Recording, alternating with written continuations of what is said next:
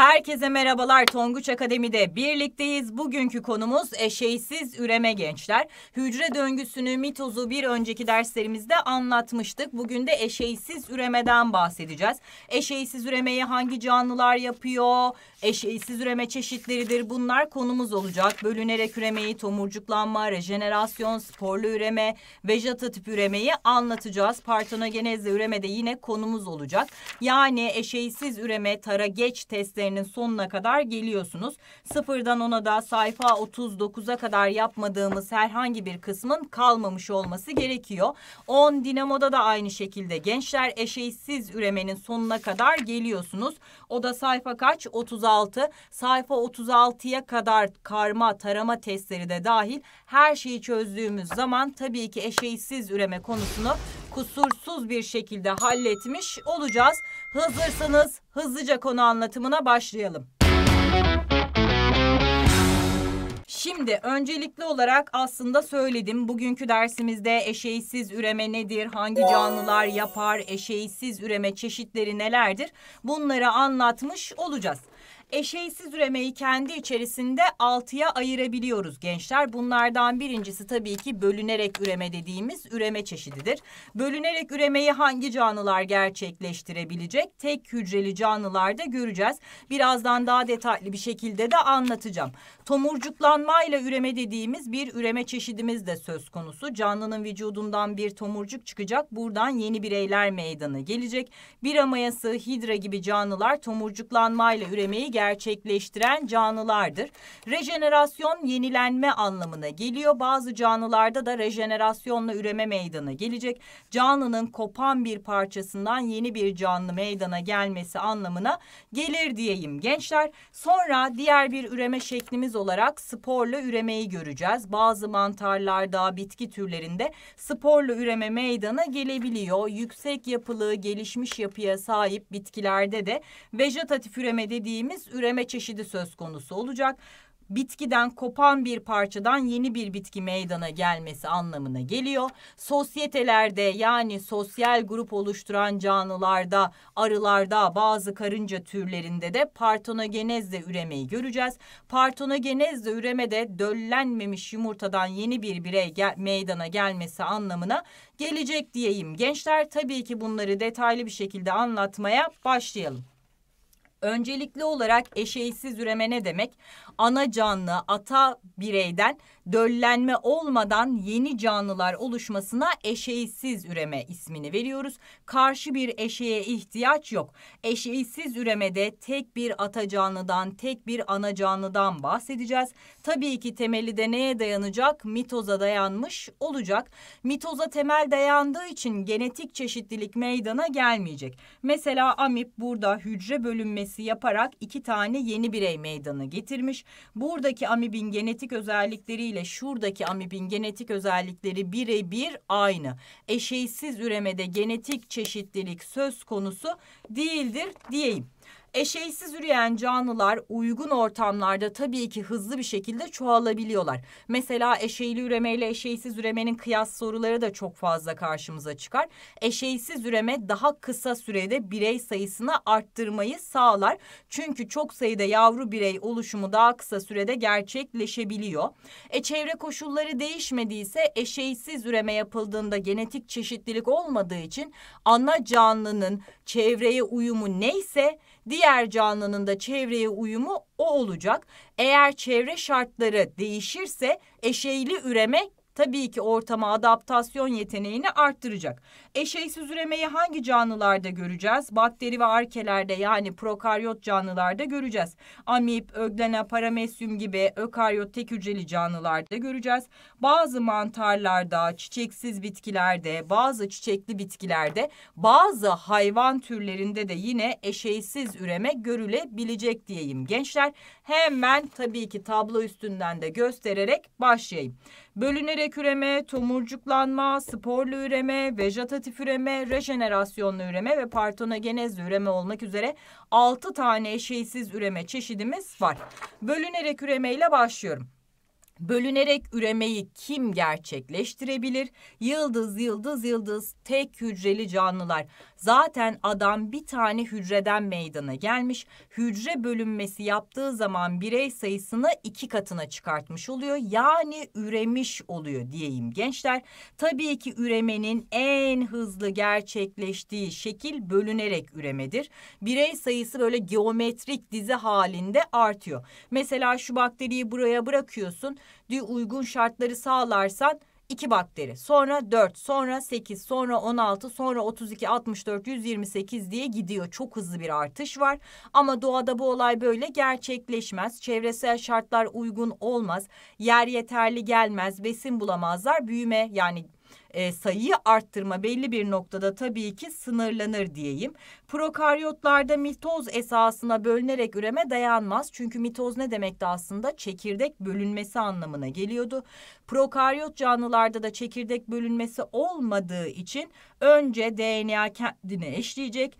Daha sonra sitoplazma bölünmesi meydana gelecek. İki tane bakteri meydana gelmiş olacak. Sitoplazma uzadı, DNA'lar birbirinden ayrıldı. Hücre zarı içeriye doğru çöküyor. Sitoplazma ikiye bölünüyor. Aralarında bakterilerde mesela hücre duvarı oluşuyor. Dediğim gibi çok hızlı bir üreme şeklidir. Bakteriler uygun koşullarda 20 dakikada bir bölünerek çoğalma işini gerçekleştirebiliyorlar. Ama çevre koşulları tabii ki uygun olmayacak. Yoksa düşünsene şuraya bir tane bakteri geldi. 24 saat sonra buraya geldiğimizde bakteriden göz gözü görmezdi. Besin bulamıyorlar, aralarında rekabet oluyor, yer yeterli gelmiyor. Belli bir noktada sınırlanıyor diyeyim gençler. Ökaryot tök hücreli canlıların da en fix karşımıza çıkanları amip, öglena ve paramesyum dediğimiz canlılardır. Bunlarda tabii ki çekirdek bulunduğu için temeli de mitoza dayanacak bunlardaki bölünmenin. Çekirdek ve sitoplazma bölünmesi gerçekleşecek farklı yönlerde olabiliyor.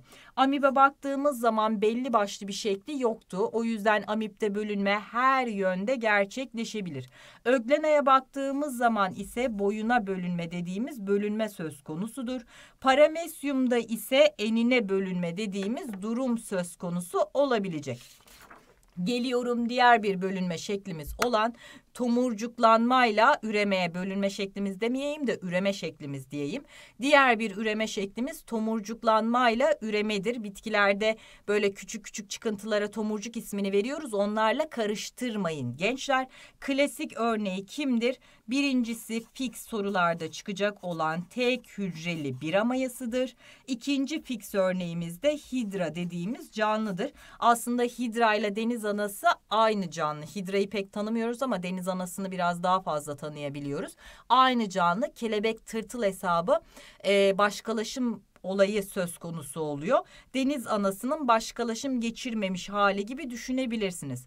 Mantık ne? Ana canlının vücudunda mitoza dayanan temeli mitoz olan bir tomurcuk meydana geliyor. Mesela hidrada mitozda şu tomurcuk meydana geldi. Bu tomurcuk büyüyor, büyüyor, büyüyor. Yeni bir hidrayı meydana getiriyor. Oluşan hidra ana canlıya bağlı kalıp koloni oluşturabiliyor ya da ana canlıdan kopup yaşamını bağımsız olarak sürdürebiliyor. Aynı şey bira mayası için de geçerli. Ana canlıda bir çıkıntı meydana geldi kolonide oluşturabilir. Bu çıkıntı kopup başka bir yerde bağımsız bir şekilde de yaşayabilir. Ama tomurcukla oluşan e, bira mayasıyla ana canlının genetik yapısı birebir aynı bir e, temeli mitoza dayandığı için tek hücreli bir mantar olan bira mayasında sölenterlerden hidra, mercan, deniz anasında görülecek. Çok hücreli canlılarda tomurcuklanma sürecinde mitoz ve hücre farklılaşması da tabii ki gerçekleşecek. Geldim sporla üreme dediğimiz üreme şekline. Olumsuz ortam koşullarına dayanıklı, etrafı kalın bir örtüyle çevrili özelleşmiş hücrelere spor adı veriliyor. Yani ana canlı hemen şuradan bir kalem kapağı alayım. Ana canlı bir tane hücre oluşturuyor. Oluşturduğu bir hücre dayanıklı. Etrafı sert bir örtüyle kaplı. Bunun adı artık spor. Mesela mantarlar sporlarını etrafına yayarlar. Hani mantar gibi sen de ne o yerden bittin hemen karşıma çıktın gibi cümleler duyarız ya o mantar gibi yerden bittin denmesinin sebebi şundan kaynaklanıyor. Ormanlık alanda mesela sizinle yürüyüş yaptık ağaçların diplerine baktık hiçbir şey yok. Hafiften bir yağmur yağdı ertesi gün gittiğimiz zaman ağaçların etrafında bir sürü mantar çıktığını gördük. Aa dün burada hiçbir şey yoktu nasıl oldu burada bir sürü mantar çıktı deriz. Aslında biz gözümüzle göremedik ama dün de ağacın etrafında bir sürü mantar sporu vardı. Mantarlar bu özelleşmiş sporlarını etrafa yaydılar. Yağmur yağınca uygun koşullar oluştu. Bu sporlardan hemen çimlenme olayıyla yeni bir mantar meydana geldi demektir. Sporlar mitoz ya da mayozda oluşturulabilir. Mitozda oluşturuyorsa zaten e, eşeysiz üreme temeline dayanacak. Rüzgar, böcek, yağmur, diğer aracılarla tabii ki bu sporlar etrafa yayılacak. Sporlar en kromozomlu hücrelerdir. Uygun koşullarda gelişerek ana canlıyı meydana getirebiliyorlar. Sporların uygun şartlarda gelişerek yeni canlılar oluşturmasına sporla üreme ismini verdik. Tek hücreli protistalardan, bazı mantarlardan, karayosunu ve eğrelti otu gibi bazı tohumsuz bitkilerden sporla üreyenler var diyeyim gençler. Olgun mantar mitozda ne yaptı? Sporlarını meydana getirdi. Sporlar uygun koşullarda çimlenmeye başladı. Hif, miselyum adı verilen uzantılar oluşmaya başladı. Sonra olgun mantar tabii ki meydana gelmiş oluyor. Diğer bir üreme şeklimiz neydi? Rejenerasyonla üremek demekti. Rejenerasyonla üremeyi şöyle anlatayım en başta. Rejenerasyon yenilenme anlamına gelir. Rejenerasyon da tüm canlılarda hemen hemen görülür gençler. Rejenerasyonla üreme her canlıda görülmez. Neden bahsediyorum? Rejenerasyon yenilenme anlamına geldiğine göre benim bir yerim kesildiğinde de burası kendini tamir edip yenilenmiyor mu? O zaman bende de rejenerasyon meydana geliyor. Rejenerasyonla üreme olabilmesi için ana canlıdan kopan parçadan da yeni bir canlı meydana gelmesi gerekiyor. Klasik kimde görülecek? Deniz yıldızında ve planeryada görülecek. Deniz yıldızının merkezi silindirine yakın bir yeri kopuyor mesela. Koptu parça şurada kaldı. Parçanın koptuğu kısımda şurada kaldı diyeyim. Sonra bu parça kendini tamamlayıp yeni bir deniz yıldızına, şu parça da kendini tamamlayıp yeni bir deniz yıldızına dönüşüyor. Sayı birden ikiye çıktı. O zaman birey sayısı arttı. Rejenerasyonla üreme yaptı diyeceğiz. Planeryada da hem boyuna hem enine rejenerasyon görülebiliniyor. Planerya bir solucan türü. Bu solucanı işte e, üçe böldüğün zaman boyuna her bir parça kendini tamamlıyor. Hop üç tane solucan oluyor. Birey sayısı üçe çıktı. Ya da bunu boyundan boyuna da kesim yapabiliyorlar gençler. Yine boyuna kestikleri zaman da her parça kendini tamamlıyor. Birey sayısı artmış oluyor diyeyim. Şöyle de bir durum söz konusudur. O zaman rejenerasyon birçok canlıda görülüyor. Rejenerasyonla üreme anca birey sayısının artmasıyla meydana geliyor. Rejenerasyon dedim ki pek çok canlı grubunda görülür. Deniz yıldızı tabii ki e, bunların fix örneklerinden bir tanedir. Kopan koldan da yeni bir birey meydana gelmesi anlamına geliyor. Gittim rejenerasyon yapsın diye ucundan küçük bir parça kestim. Tabii ki meydana gelmiyor. Merkezi kısımdan, merkezi disk dediğimiz bölgeden de pay alınmış olması gerekiyor diyeyim gençler. Sonra birkaç tane örnekten de bahsedeceğim. Kertenkele dediğimiz canlıda da organ düzeyinde rejenerasyon görülüyor. Kertenkele gidiyor hop kuyruğuna bastım veya korkuttum. Kertenkele kuyruğunu bırakıyor bıdı bıdı kendi kaçarken kuyruk arkada kalıyor. Kertenkelenin kopan kuyruğunun yerine yeni kuyruk çıkıyor. Kuyruktan yeni kertenkele olmuyor. O zaman organ düzeyinde rejenerasyon kertenkelede meydana geliyordur. Keza yengecin çenesi koptuğunda da yeni çene çıkıyor. Semenderin bacağı koptuğunda da yeni bacak çıkıyor. İnsanların kırılan kemiklerinin onarılması, kesilen kısmın yeniden tamir edilmesi de rejenerasyona örnektir. Elim kesildi, buradan hücre kümesi şuraya düştü. Kopan hücre kümesinden yeni bir seda olmuyor ama burası kendini yeniliyor. Yani kertenkelede organ düzeyinde, kuşlarda, memelilerde ise kolumu kesince yeni kol çıkmaz. Doku düzeyinde rejenerasyon görülüyor. O yüzden de hemen başına genellikle kelimesini yazıyorum, cümlemi kuruyorum. Genellikle canlıların gelişmişlik düzeyi arttıkça rejenerasyon yeteneği azalır diyeyim gençler. Buradan da partonogenezle üremeye geçiyorum. Partonogenez döllenmemiş yumurtadan yeni bir birey meydana gelmesi anlamına gelecek. Bal arılarıyla ilgili sorular fix karşınıza çık e, çıkacaktır. Ama ben size çizerek anlatayım daha çok aklınızda kalsın. Şimdi bal arılarına baktığımız zaman normalde tür içerisinde kromozom sayısı sabittir. Arılar hariç cümlesini kuralı, kurarız. Çünkü arılarda dişi bireyler iken yani iki takım kromozoma sahipken erkek bireyler en kromozomludur. Tek takıma sahiptir. Kraliçe arılara baktığımız zaman kraliçe arılar iken kromozomludur. Koloninin içerisinde işçi arı dediğimiz arılar da var ki işçi arılar da dişi arılardır. İken kromozomludur. Bir de erkek arı adını verdiğimiz arılar bulunur. Bunlar da en kromozomludur diyeyim. Şimdi koloniye baktığımız zaman koloninin içerisinde yer alan kraliçe arılar iken kromozomdu ya. İken kromozomlu kraliçe arılar mayoz bölünme geçerek yumurta adını verdiğimiz hücreleri meydana getirecekler. Yumurtalar en kromozomludur. Bir de burada bulunan erkek arılar vardı. Erkek arılar en kromozomluydu. Erkek arılardan mitoz yaparak spermleri meydana getirecekler. Spermlerin de tabii ki kromozom sayısı mitozda genetik çeşitlilik meydana gelmediği için en olacak diyeyim. Yumurta ve sperm birleşti. Olayın adı ne? Döllenme dediğimiz olay meydana geldi. Buradan zigot meydana geldi. Zigot tabii ki en en birleşme sonucunda iki enli oldu. Yani buradaki arı dişi arıdır. Arılarda özel bir durum vardır. Arı sütü denilen e, arılardan elde edilen salgıyla beslenirse kraliçe arı dediğimiz arılar meydana gelir. Polen tozu dediğimiz, çiçek tozu dediğimiz yapılarla beslenme gerçekleşirse kısır olan işçi bireyler meydana gelir. Buraya kadarki kısım sanki eşeğli üreme gibi partonogeniz bu işin neresinde? Şurasında. Kraliçe arı mayoz bölünmeyle yumurtaları meydana getirdi. Yumurtalar döllenmeden gelişirse erkek arılar meydana geliyor. Döllenmemiş yumurtanın gelişerek yeni bir birey meydana getirmesine de partonogenez ismini vereceğiz diyeyim gençler. Hemen buradaki tabloda zaten aynı şeyi söylüyor. Ben anlatarak yazarak yapayım aklınıza biraz daha kazınsın dedim.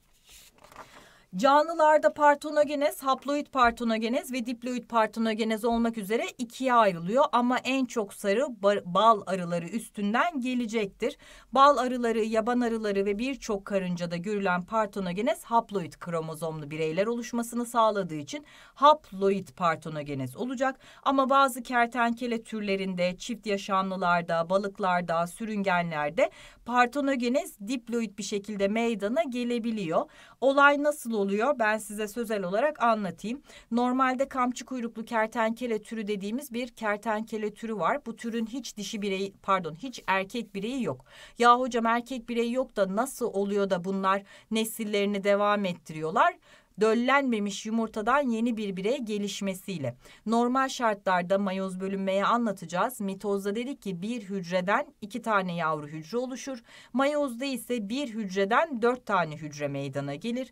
Dişiler mayoz bölünme yaptıkları zaman dört tane hücre oluştururlar. Bu hücrelerden bir tanesi bol miktarda sitoplazma alır, yumurta hücresi olur. Kalanlar az sitoplazma alır, ölür. Kutup hücresi ismini veririz biz bunlara.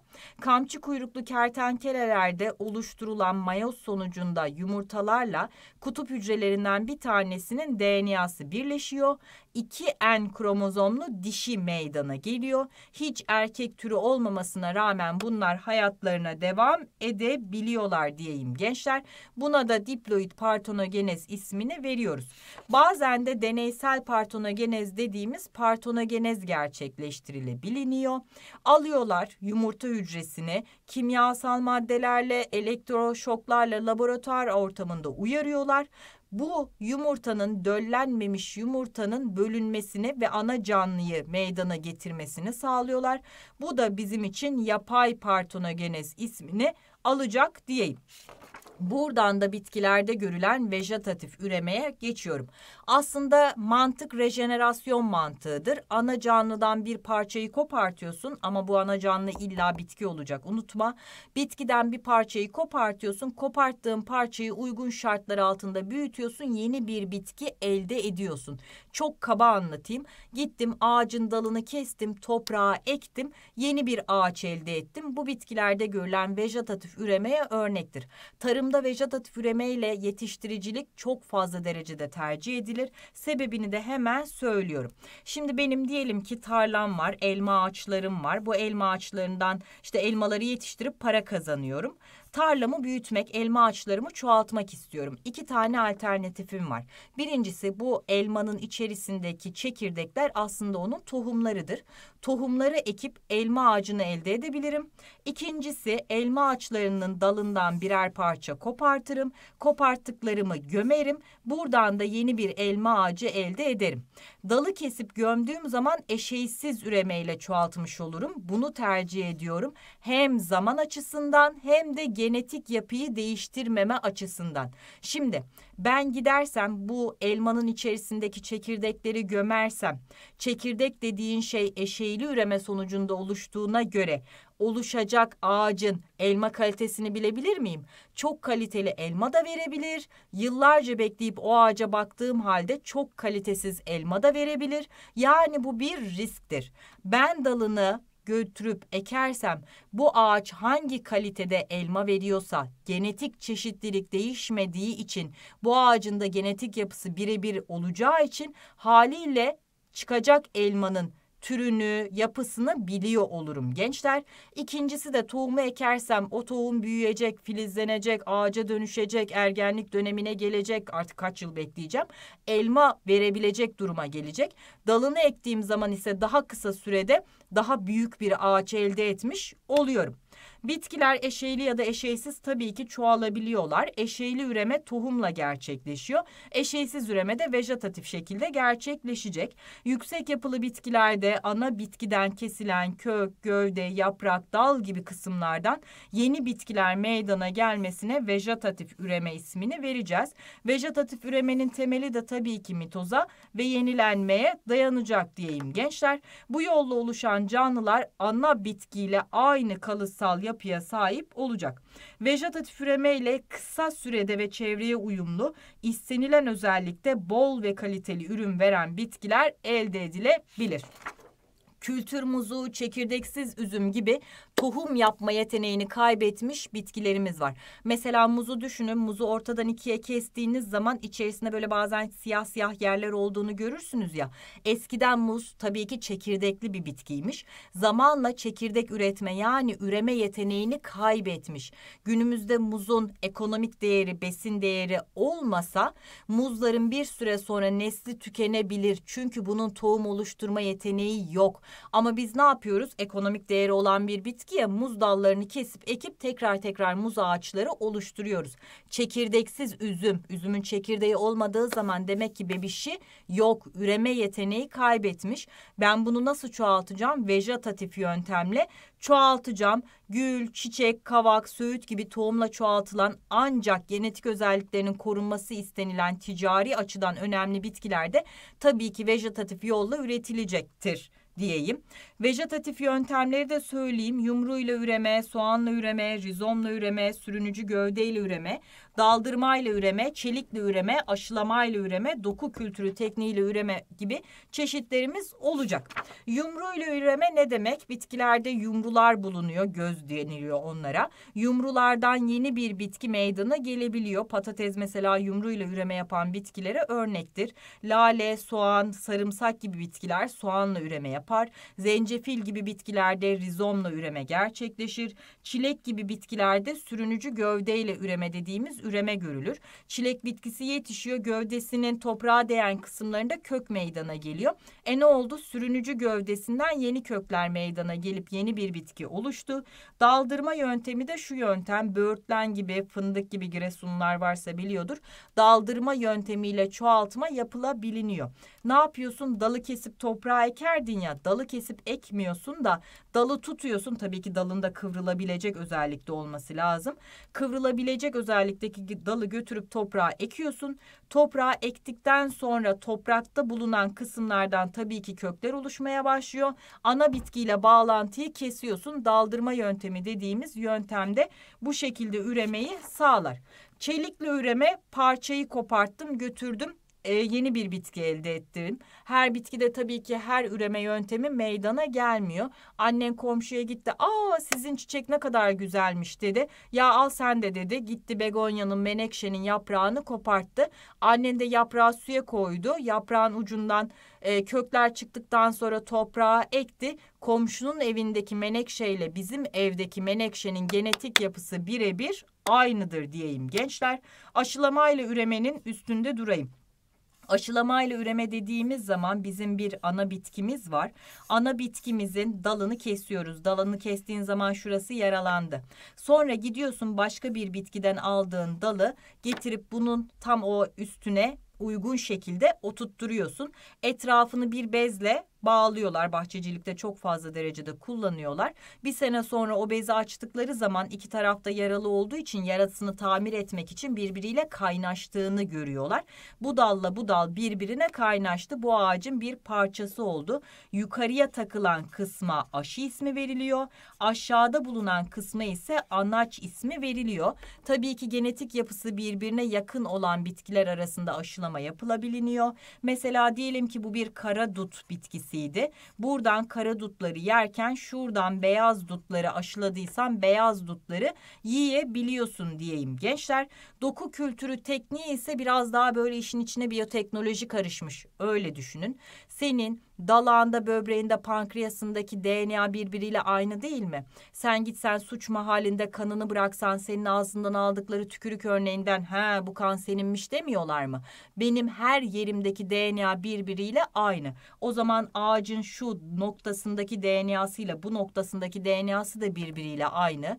O zaman ben ağaçtan yaprak dal kopartmasam da bir hücre kümesi alsam buradan da o ağacı yapabilir miyim? Evet. Tabii ki laboratuvar şartlarında doku kültürü tekniği kullanılarak bir hücre kümesinden de ana bitki elde edilebiliniyor. Birazdan detaylı anlatacağım. Laboratuvar şartlarında yaptığımız için ya ekonomik değeri yüksek olacak ya da nesli tükenme tehlikesi altında olan bir bitki doku kültürü yöntemiyle çoğaltılacak diyeyim. Doku kültürü tekniğiyle istenilen özelliklere sahip bitkilerin çok sayıda kopyası kısa sürede oluşturulabiliyor. Nesli tehlike altında olan bitki türlerinin üretilmesi, zor olan türlerin üretilmesi, ticari önemi olan bitkilerin çok sayıda standart olarak elde edilmesi amacıyla doku kültürü yöntemi kullanılabiliyor. Bir çeşit klonlama yöntemidir diyebiliriz tabii ki. Mısır, buğday, pirinç, soya fasulyesi gibi bitkilerin ıslah çalışmalarında da bunlardan faydalanılıyor. Mesela benim bir pirinç bitkim var çok beğendim beğendim.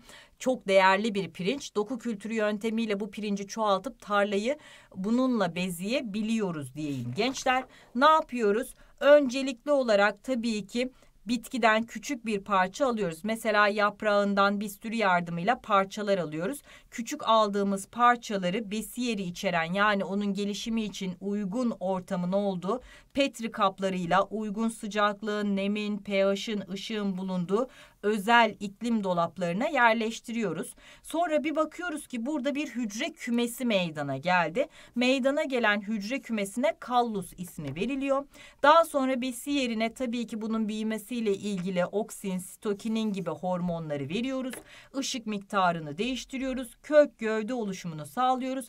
Ana bitkiden sadece birkaç hücre kümesinden te aynı bitkiyi elde etmiş oluyoruz diyeyim.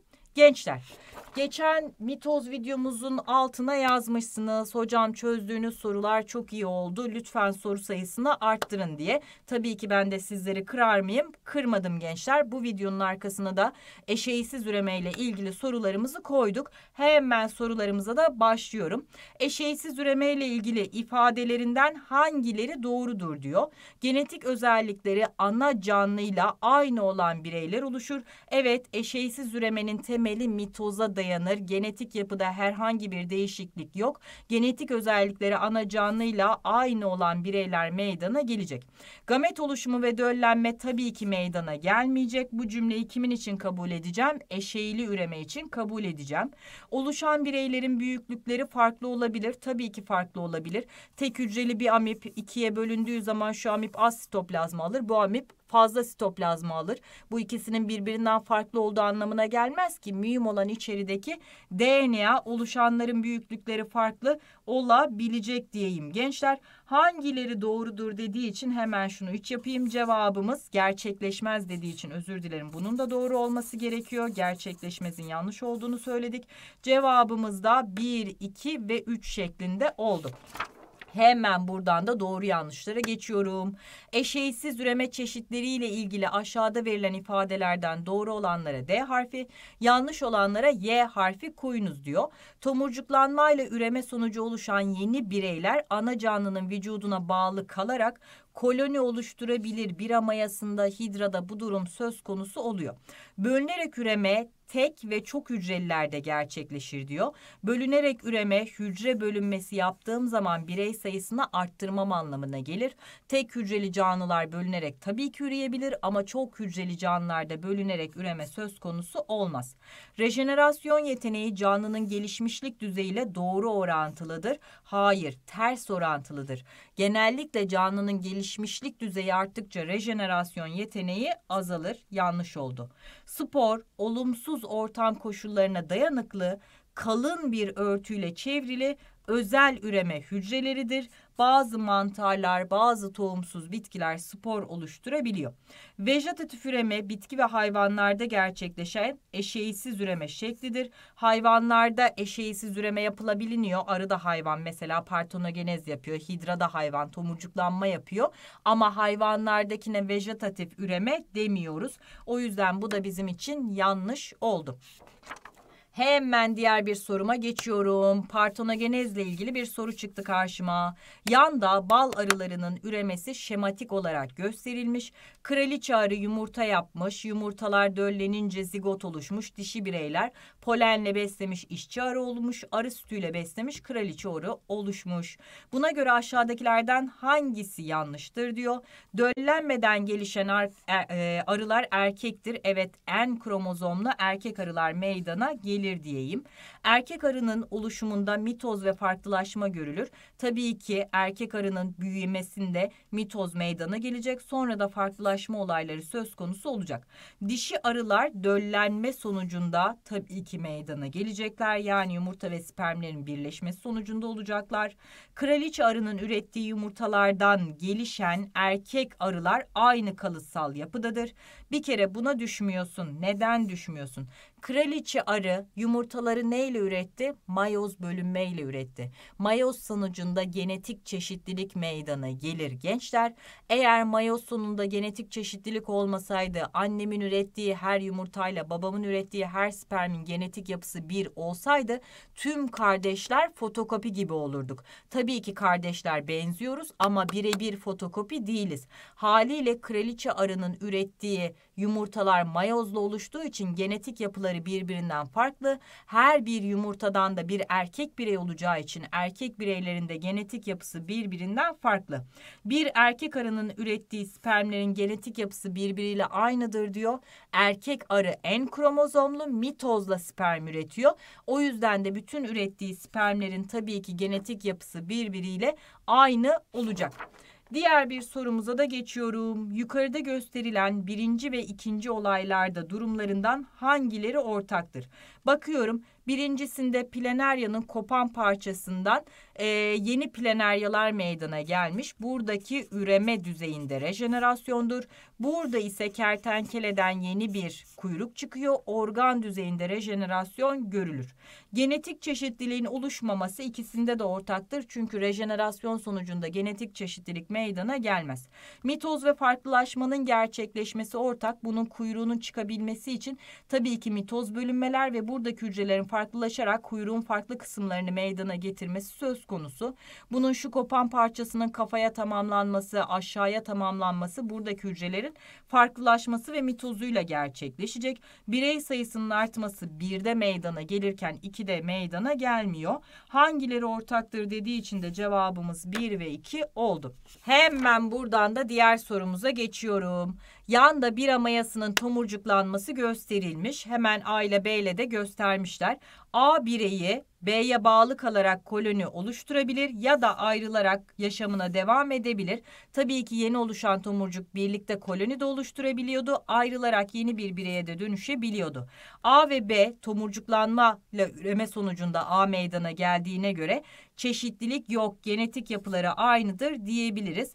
A tomurcuklanarak çoğalabilir. Oluşan canlı tabii ki tekrardan tomurcuklanarak yeni bir canlıyı meydana getirebilir. A'nın ortama uyum yeteneği B ile aynıdır. Genetik çeşitlilik olmadığı için A neyse B de odur gençler. İkisinin de ortama yeteneği birbiriyle aynı. Uyum sağlama özellikleri birbiriyle aynı. Hangileri doğrudur dediği için cevabımız 1, 2 ve 3 şeklinde olacak. Diğer bir sorumuza da bakıyorum. Aşağıda verilen canlılardan hangileri bölünerek üremeyi gerçekleştiremez?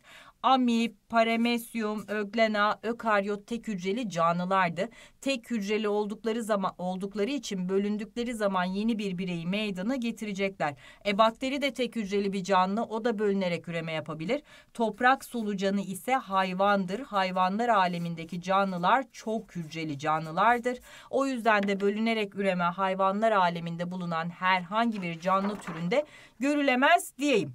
Aşağıdaki üreme olaylarından hangisinde genetik çeşitlilik meydana gelir? Rejenerasyonla üreme eşeysiz üremedir. Genetik çeşitlilik yok. Tomurcuklanmayla üreme genetik çeşitlilik yok. Bölünerek partonogenezle, rejenerasyonla, vejetatif üremeyle genetik çeşitlilik elde edemezsin. Tohum ise eşeyli üreme sonucunda meydana gelen bir yapıdır. Tohum oluşumu varsa direkt yapıştıracaksın eşeyli üremedir diyeyim. Hemen özetin özeti konu biterkene geliyorum gençler. Biz bugün neler öğrendik? Eşeysiz üreme tek bir ata canlıdan genetik özellikleri açısından birbirinin ve ana canlının aynısı bireyler oluşturmasıdır, oluşmasıdır dedik. Eşeysiz üremenin temelinin mitoza dayandığını söyledik. Eşeysiz üremede genetik çeşitlilik olmadığı için ortama adaptasyon yeteneği eğer ana canlı ortama adapte ise bu da adapte olacaktır dedik. Değişen çevre şartlarında durumlar farklılaşır. Eşeysiz üreyen canlılar kısa sürede çok sayıda tabii ki yavru birey oluşturacaklar. İkiye bölünme, tomurcuklanma, rejenerasyon, sporlu üreme, vejetatif üreme ve partonogenez üreme olmak üzere 6 çeşit eşeysiz üreme çeşidimiz olduğunu söyledik.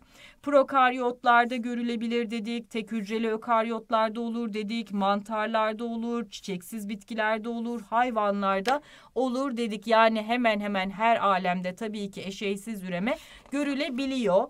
İkiye bölünme tek hücreli canlılarda birey sayısını arttırır dedik. Tomurcuklanmanın can alıcı cümlesi bir amayası ve hidraydı. Ana canlıya bağlı kalarak koloni oluşturabiliyor veya bağımsız olarak da yaşayabiliyorlardı. Rejenerasyon yenilenme demekti. Her canlı rejenerasyon yapabilir ama hepsinde üremeyi sağlamazdı.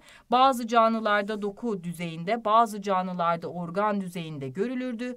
Canlının gelişmişlik düzeyi arttıkça rejenerasyon yeteneği azalırdı. Sporlu üreme, sıtma hastalığına sebep olan plazmodyumda, bazı mantarlarda, çiçeksiz bitkilerde gerçekleşebilirdi. Vejetatif üreme gelişmiş yapılı bitkilerde yani yüksek yapılı bitkilerde görülecekti. Döllenmemiş yumurtadan yeni bir birey meydana gelmesine de partonogenezle üreme ismini verecektik. Bal arılarında, süpürelerinde, yaprak bitlerinde tabii ki partonogenezle üreme görülebilecekti diyeyim gençler. Böylelikle konumuzu da bitirmiş olalım. Hemen ödüllü soruya geçeyim. Biraz uzun olduğu için hafiften bekleyeyim gençler. Videoyu beğenmeyi unutmayın. Ödüllü soruya cevaplarınızı yorum kısmına bekliyorum.